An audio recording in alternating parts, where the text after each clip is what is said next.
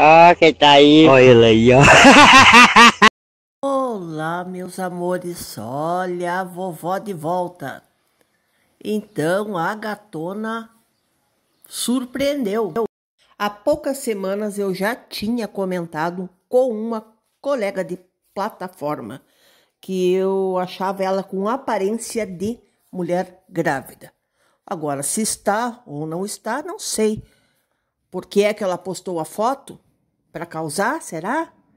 Não, mas eles não gostam de causar, imagina. Apesar de que o bebê veio numa época em que o relacionamento já estava comprometido. Aí se reergueram, agora aparece essa novidade. Ela sempre vem com novidade, né, gente? Ou é uma mudança de estado, nem é de casa, de estado, ou é uma separação, ou um bebê. As pessoas com certeza dirão: ai, que maravilha, agora o casal vai se reaproximar. Será que é realmente bom? Será que as pessoas uh, torcem de verdade para que seja bom?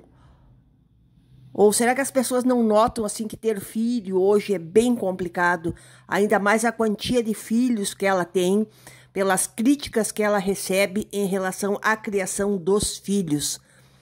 Que a maior parte das críticas são em relação à criação dos filhos e ao ex atual, não sei, marido. Então fica aí para vocês decidirem: é gravidez ou não é? Ou é só mais um golpe para visualizações? Digam aí, digam-me nos comentários o que, que vocês acham. A gatona está esperando um baby ou não?